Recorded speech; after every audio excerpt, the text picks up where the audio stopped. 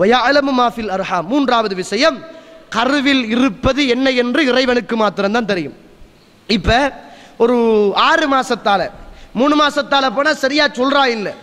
ஆறு மாசத்தால போனா இஸ்கேம் பண்ணிட்டு டாக்டர் சொல்றாரு. டாக்டர் சொல்றாரு இது ஆம்பளை பிள்ளையா பொம்பளை பிள்ளையாண்டு ஆனால் அவருக்கு ஆம்பளை பிள்ளையா பொம்பளை பிள்ளையான்று தான் சொல்ல முடியும். ஆனால் அல்லாஹ் ரப்புல் ஆலமீனுக்கு அந்த பிள்ளை ஆம்பளை பிள்ளையா பொம்பளை பிள்ளையா என்று அந்த இந்திரியம் கருவில் இறங்குற போதே இறைவனுக்கு தெரியும். இப்ப இருக்கிற விஞ்ஞானிகளுக்கும் ஆய்வாளர்களுக்கும் ஸ்கேம் பண்ணக்கூடியவர்களுக்கும் இது கருவில தரிச்சு மூன்று மாசம் ஆறு மாசத்துக்கு பிறகுதான் ஆம்பளை பிள்ளையா பொம்பளை பிள்ளையான்னு தெரியும். அவனுக்கு அங்கவீனமாக பிறக்கும் அங்கவீனமாக பிறக்காது என்று அவனால சொல்ல முடியுமா? முடியாது. ஆனால் அல்லாஹுக்கு அதுவும் தெரியும். அல்லாஹுக்கு அதுவும் தெரியும். பாருங்கள் லில்லாஹி முல்கு சமாவாத்தி வல்லர் இந்த வானம் பூமியுடைய ஆட்சி அதிகாரம் இறைவனுக்கே சொந்தமானது. யகுலுகுமா யஷா அவன் நாடுவதை படைக்கிறான். யஹபுலிமை யஷா இனாதன் அவன் நாடுபவர்களுக்கு பெண் பிள்ளைகளை கொடுக்கிறான்.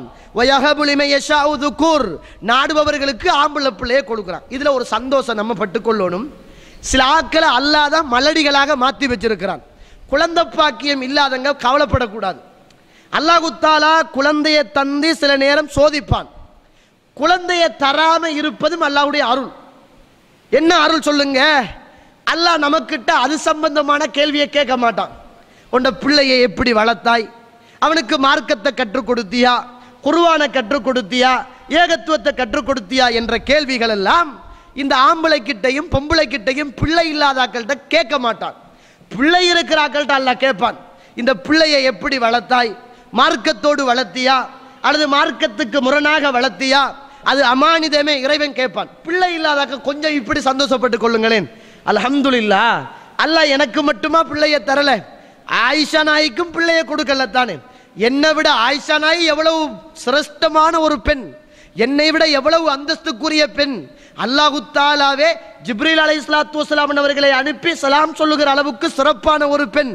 அப்படிப்பட்ட பொம்பளைக்கும் அல்லாஹ் கொடுக்கலண்டா? நான் பெருசா ஆயிஷா நாயை விட ஒன்றுமே பெருசா அந்தஸ்துக்குரிய பொம்பளை இல்லையே.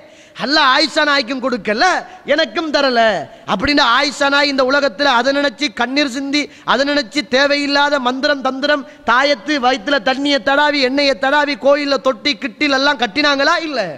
அப்படி நினைச்சு இந்த உலகத்தில் ஒரு மோமின் சந்தோஷப்பட்டு கொள்ளும். பாருங்கள் ரசூலுல்லா இஸ்லாம் சொல்றாங்க. இதே போன்றுதான் எங்களுக்கு தெரியும்.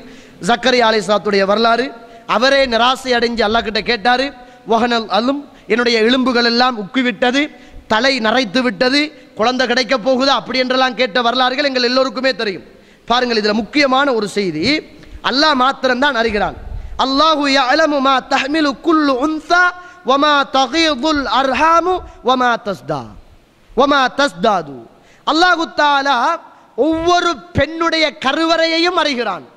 அந்த கருவறை விரிகிற போதும் அறிகிறான்.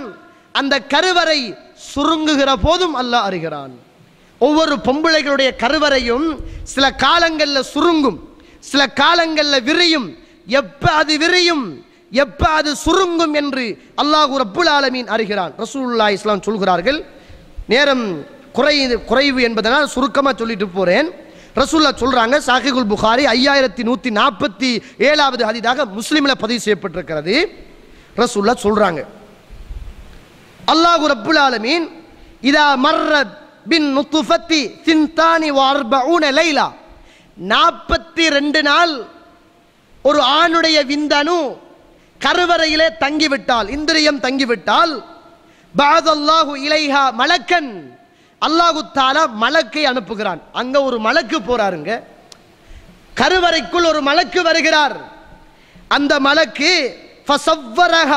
அதை உருவப்படுத்துகிறார். வகலக்க சம்மாஹா அதனுடைய செவியறைகளை படைக்கிறார். வபசரகா அதனுடைய பார்வையை படைக்கிறார். வஜில்தாக அதற்கு தோலை உண்டாக்குறார் வலஹமாக இறைச்சை உண்டாக்குறார் வைபாமாக அதற்கு முள்ளுகளை உண்டாக்குறார் அல்லாஹ்வுடைய பேரின் அடிப்படையில் அல்லாஹ்வுடைய கட்டளையின் அடிப்படையில். சும்ம கால. பிறகு கேட்கிறார் யா ரப்பி அல்லாஹ் அத கருண் அவ் உன்சா. இது ஆம்பளை பிள்ளையா அல்லது பொம்பளை பிள்ளையா? என்ன அற்புதம்? வானவர் அல்லாஹ் கிட்ட போய் கேட்கிறாரு. அல்லாஹ் கிட்ட கே அல்லாஹ் சொல்லு. ஆம்பளை பிள்ளையாக ஆக்கவா? பொம்பளை பிள்ளையாக ஆக்கவா?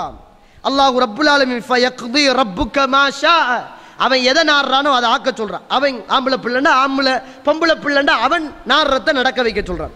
வயக்துபுல் மலக். மலக்கு எழுதிடுறார். சும்ம யக்கூல் பிறகு அந்த வானவர் கேட்கிறார் யா ரப்பி அல்லாஹுவே அஜலுஹு அவனுடைய வரையறை அவன் வாழுகிற நாள் காலம் எவ்வளவு சொல்லு. எவ்வளவு காலம் எழுத? இதை ஒரு டாக்டரால் சொல்ல இயலுமா? டாக்டர் ஆறு மாசத்துக்கு பிறகு சொல்ல இயலும் ஆம்பளை பிள்ளை பொம்பளை பிள்ளைன்னு சொல்ல இயலும். நான் கேட்கிறேன் ஒரு பிள்ளை பிறந்து இவ்வளவு காலத்தில் மரணிக்கும் அவன் கல்யாணம் முடிப்பான் கல்யாணம் முடிக்க மாட்டான் அவன் கிழவனாகித்தான் மூத்தாகுவான் என்று சொல்லுகிற வாழ்நாள் சம்பந்தமான அறிவு இன்றைக்கு இருக்கிற எந்த ஒரு வைத்தியரத்திலாவது இருக்கிறதா? வயஅலமு அர்ஹாம். இந்த கற்ப அறைகளில் இருப்பதை இறைவன் மாத்திரம்தான் அறிகிறான். வேற யாருக்குமே தெரியாது. அவன் எவ்வளவு காலம் வாழ்றான் என்பதை அல்லாஹ் மாத்திரம் அறிகிறான். அவன் எவ்வளவு காலம் வாழணும் என்று அல்லாஹ் நாடுகிறானோ அதை எழுதச் சொல்றான். வானவர் எழுதுகிறார் வயக்துபுல் மலக் மலக்கு எழுதுகிறார். சும்மைய கூல் பிறகு கேட்கிறார் யா ரப்பி ரிஸ்குஹு அவனுடைய சாப்பாடு என்ன? அவனுக்கு இந்த உலகத்தில் அவன் என்ன என்ன இதெல்லாம் சாப்பிடுவான்? எப்படி எவ்வளவு காலத்துக்கு அவன் உண்பான்? அதை சொல்லு. அல்லாஹ் நாடுறத சொல்றான் வயக்துபுல் மலக் மலக்கு எழுதுகிறார். சும்மைய யஹ்ருஜுல் மலக்கு பி சை பி சஹீஃபத்தி ஃபி எது?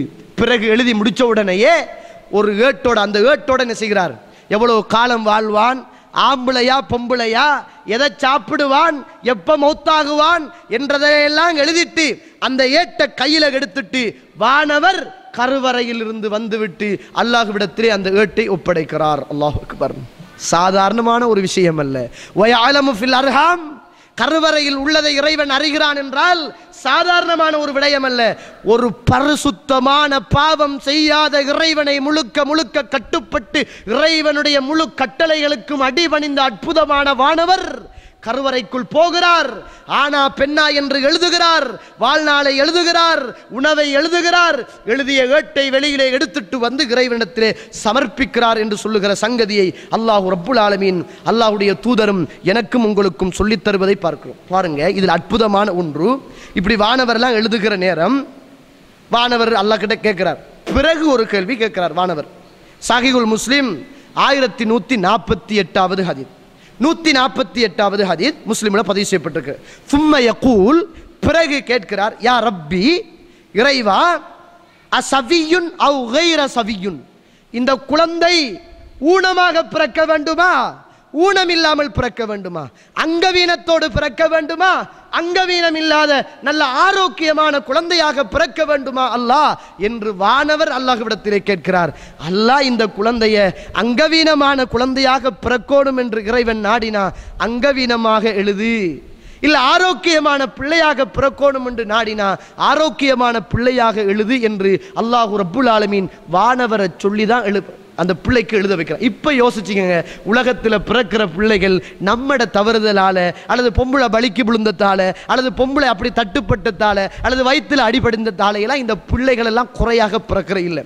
எல்லாம் எதை நாடுறானோ அந்த பொம்பளை பிள்ளையோ ஆம்பளை பிள்ளையோ குறையுள்ளதாகவோ குறையற்றதாகவோ அவன் நாடுறது தான் அந்த கருவறைக்குள் நடக்கிறது வயஅலமு ஃபில் அர்ஹாம் அந்த கருவறையில் இருப்பதை அவன் அறிகிறான் என்று அல்லாஹும் அல்லாஹ்வுடைய தூதரும் எனக்கும் உங்களுக்கும் சொல்லித் தருவதை நாங்கள் பார்க்கிறோம் يا نيمة خير وعطاء ويمام لقاء وسخاء يا نجما شع فأبهجنا يا شعلة نور وضاء يا نيمة خير وعطاء ويمام لقاء وسخاء يا نجما شع فأبهجنا يا شعلة نور وضاء يا ديمة بذل تعطينا هلت بعطاء تسقينا. أقبلت فأزهرت الدنيا والبشر توالى يحوينا. يا ديمة بذل تعطينا هلت بعطاء تسقينا. أقبلت فأزهرت الدنيا والبشر